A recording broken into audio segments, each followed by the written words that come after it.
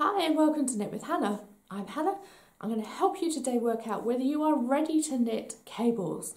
Cabling is a great beginner next step, but exactly what do you need to have accomplished in your knitting before you begin cabling?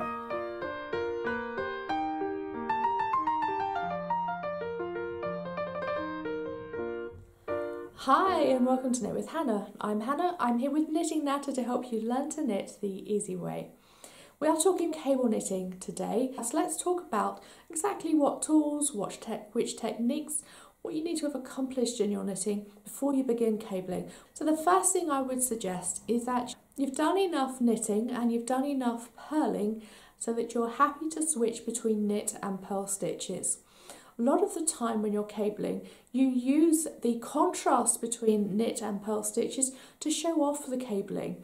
Cabling really does give a great twist to the knitting, but if you can't see the contrast there, you can't see the shadows of the cable, then it's quite disappointing. So a lot of the time you will find in cable knitting patterns that you will use the cabling when you're doing the knit stitch, but either side of that cable twist you will see purl stitches. It gives a really great shadow to it, lets, it lets you show it off as you're knitting. So you need to be aware of the fact that you will be switching between knit and purl stitches as you are creating any kind of cable pattern. So make sure that you're happy with that. Make sure that you understand the knit and purl stitches well. If you've done enough ribbing, if you've knitted knitted scarves for example, with the rib stitch, that would be really helpful. If you've knitted hats and beanies with the rib stitch, that would be really helpful too. But just be aware that you will be switching between knit and purl stitches. You need to be pretty happy with that technique. The next thing, because you will have to be switching between those stitches, you need to have enough experience with your knitting to have a relatively even tension and stitch confidence. You're not likely to have loose parts to your knitting and tight parts to your knitting and uneven bits of your knitting all over the whole piece. That will mean that the cabling looks effective and you'll be quite happy with it. And just make sure that as you knit a piece, as you knit a hat or a scarf or whatever it is that you've been knitting recently, that the tension across your whole pieces are relatively even.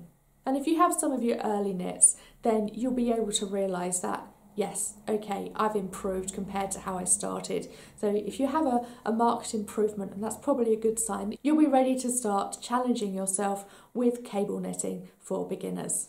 So as we move into what tools you need, one thing that you will need is a cable needle. You can use options that don't necessarily have to be cable needles if you like, but it is really helpful at some point to get hold of a cable needle.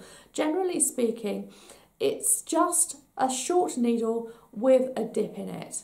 For a very long time, I used a spare double pointed needle, and when I first saw a cable needle, I actually said to my friend, what on earth is that? And she said, Well, it's a cable needle. Did you not realise that?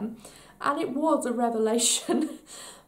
so it doesn't actually matter. It's quite easy to knit cables without having the correct absolute hierarchy of cabling tools.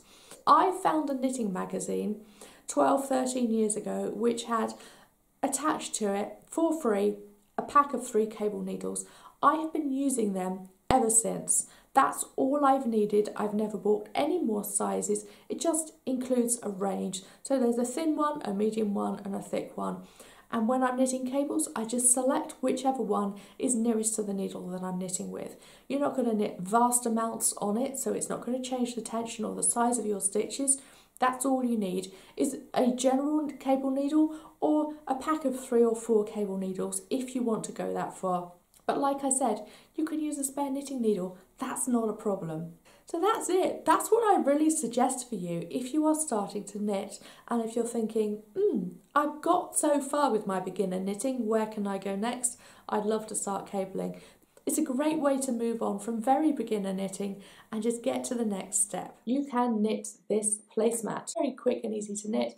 I used less than a 50 gram ball of yarn to knit this up and the single piece of jargon that talks about cables in that pattern, I will show you next week in next week's tutorial. Great, thank you so much for joining me today.